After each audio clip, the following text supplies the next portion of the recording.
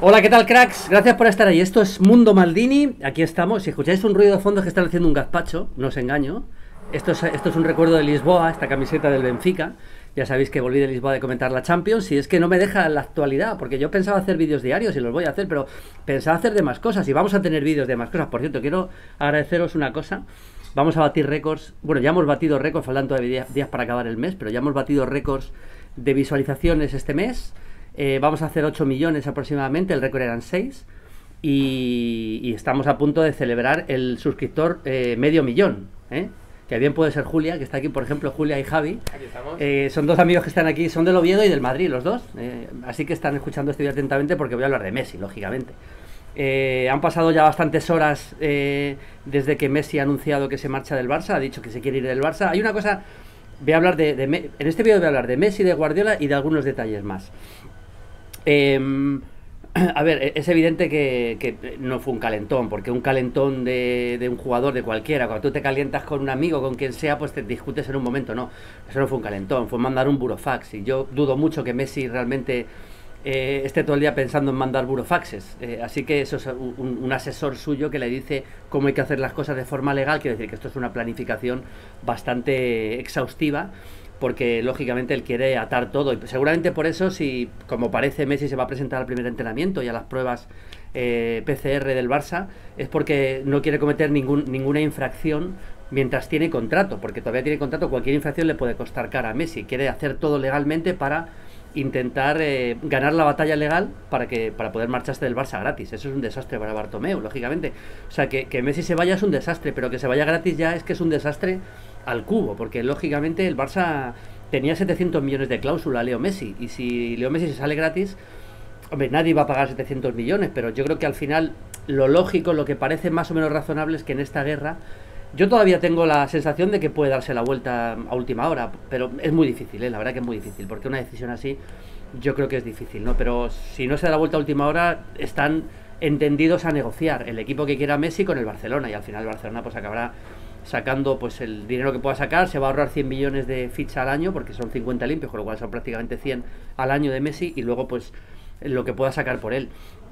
Va a costar ver a Messi con otra camiseta que no sea el Barça, y sobre todo yo lo decía el otro en el vídeo, va a costar mucho ver a, Leo Messi eh, jugar contra el Barcelona o ser rival del Barcelona real, porque si se va a jugar a Qatar o se va a jugar a la MLS, pues no es ri- rival real, pero si se va al Manchester City, que es de lo que vamos a hablar ahora, pues es un rival real para la Champions. Y quién sabe si no veremos incluso la temporada que viene a, Messi luchando en el, Camp Nou contra el, ¿verdad? Eh, Julia y Javi. Están diciendo que es que imagínate que es perfectamente probable que veamos a Leo Messi intentando ganarle al Barcelona en el Camp Nou con el Manchester City. Ya sabéis que hay varias posibilidades, está el Inter de Milán, está el Paris Saint Germain, está el Manchester City, está la Juve, la verdad que la, solo la idea de juntar a Cristiano Ronaldo con Messi sería tremenda. La sensación es que el City está, está bastante más cerca. Yo el otro día estuve escuchando amigos de Teis Sports en Argentina, está aquí también Julia, ¿qué tal Julia? Hola, ¿qué tal? Muy bien. Eh, digo que estuve hablando con varios amigos de Teis Sports en Argentina que está- están muy metidos en el tema y, y el City está bastante cerca. Yo comenté el otro día una cosa que es verdad. Si Guardiola se marcha del Barcelona es porque él ve que Messi estaba empezando a hacerse con el vestuario, como luego acabó haciéndose en el Barça, es evidente. Y si Messi está haciendo con el vestuario, por eso Guardiola en su día se marchó. Y se marchó porque ya había ganado todo lo que podía ganar con el Barça y, vio que, iba a- que, Messi empezaba a ser peligroso en ese sentido, ¿no? En, en tener una serie de actitudes que, sean, que vayan contra, contra la jerarquía real de un equipo. ¿Y por qué Guardiola ahora mismo volvería, digamos, a, a, a coger ese problema, entre comillas? Pues porque yo creo que varios años después se han dado cuenta de que, de que es un matrimonio que en su día se rompe y que hay una necesidad de que vuelvan. Casi es un matrimonio de necesidad. Porque yo creo que Guardiola se ha, dado cuenta de que quiere ganar la Champions y con Messi, evidentemente, está mucho más cerca de hacerlo. Y creo que Messi es consciente de que el sitio más probable en el que pueda ganar la Champions, que no sea el Barça, es el Manchester City. No hace falta decir por qué. El hecho de juntar al que yo creo, y sé que muchos me vais a dar palos por esto, pero lo digo, porque es que lo pienso y lo digo, que es el mejor entrenador del mundo, Guardiola, con el mejor del mundo, juntar los dos, en teoría, hablaríamos del principal candidato a la Champions. Nada te garantiza ganar, no hay nada que te garantice. O sea, tú puedes tener en tu equipo a Guardiola, a Neymar, a Messi, a Cristiano Ronaldo y a, y a quien quieras, que no te garantiza ganar la Champions. Nadie garantiza ganar la Champions, porque esto es fútbol y al final puedes tener un mal día, puede ser superior tu rival, pueden pasar muchas cosas y no ganar la Champions. Nadie le va a garantizar a- al City ganar la Champions, pero es evidente que con Guardiola y con Messi es el principal candidato.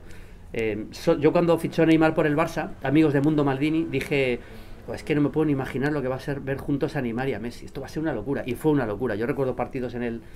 La verdad que sería casi un sueño ver a Neymar y a Messi juntos otra vez. Bueno, ya lo que sería el colmo es que el City fiche también a Neymar, pero eso ya me parece inviable, ¿no? Juntar Neymar, Messi y Guardiola, ¿no? Pero eso no, eso creo que no va a ser posible. Pero, pero solo pensar que ver a Messi jugando con De Bruyne me parece una, una, locura, una locura, realmente. Vamos a ver si el Manchester City, yo creo que capacidad económica tiene, el tema es el fair, el play financiero, si va a poder hacerlo, porque ya sabéis que el City ha tenido hasta ahora eh, un pequeño susto que pudo ser gran susto con, una, con lo que pudo ser incluso no poder jugar en Champions, así que tendrán que resolver ese problema para, para que llegue Leo Messi. La sensación ahora mismo es que el Manchester City es probablemente su equipo, pero esto, eh, eh, ya sabéis que en el mundo del fútbol todo da un giro un giro. Por cierto, quiero comentar una cosa del Benfica, ya que tengo aquí, me acabo de acordar, la camiseta, que mm, me gustó mucho la final de la Youth League, la pude ver completa, me gustó mucho algún jugador del Madrid. Marvin me gusta muchísimo, lo hablaba con Valdano en que vimos algún partido de las rondas anteriores, me gusta mucho Marvin, el chico, el número 7 del Madrid juvenil me gusta mucho, me gusta mucho Miguel Gutiérrez, el lateral izquierdo. Eh, y, bueno, yo creo que son seguramente Blanco también, el centrocampista, Chus también el central, tiene el Madrid varios jugadores por ahí. También lo hablaba con Jorge, en, eh, el Madrid tiene una cantera tremenda, maneja miles de jugadores sabiendo que de todos pues van a llegar uno o dos al primer equipo. O al final Madrid se acaba convirtiendo en una, en una mm, fábrica de futbolistas de primera división para todo el mundo, pero, pero es así, es muy difícil, lógicamente. No se me he desviado del tema, ya lo sé. Pero, pero quería hablar de este detallito de la final del Madrid con el Benfica de la Youth League.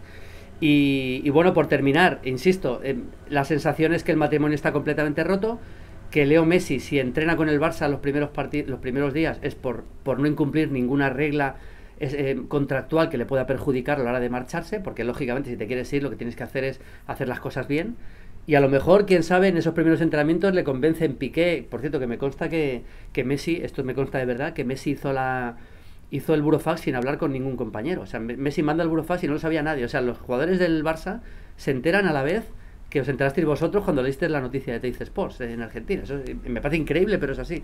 Nadie sabía nada de la plantilla.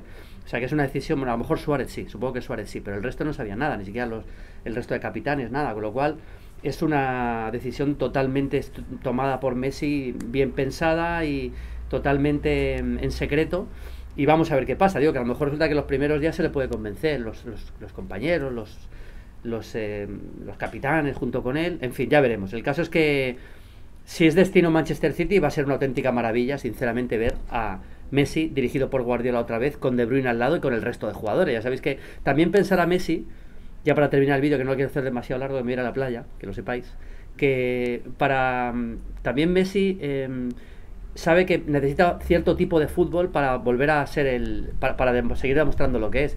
Y es un fútbol, lógicamente, que no tenga mucha intensidad, que no tenga mucha ida y vuelta. O sea, Messi en el Liverpool sufriría mucho más, porque a veces le podría pasar el partido por encima. Y tampoco el equipo se va a adaptar totalmente a su estilo. Pero en el Manchester City, que es un equipo de, de combinar mucho, no de un ritmo demasiado alto, yo lo dije el otro día en el vídeo. A mí, yo, para mí, Guardiola es el mejor entrenador del mundo, pero muchas veces su equipo me aburre su Manchester City me aburre, porque me aburre, porque es demasiado lento y porque me aburre. Ese fútbol a veces incluso aburrido, entre comillas, a, a, Messi le puede venir bien porque es un fútbol mucho más combinativo, donde él se puede regular mucho más físicamente.